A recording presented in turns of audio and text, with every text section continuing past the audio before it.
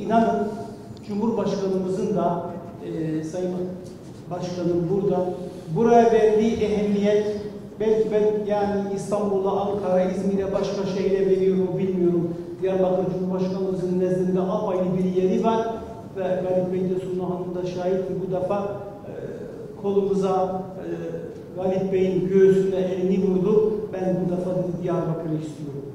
Onun için ne oluruz?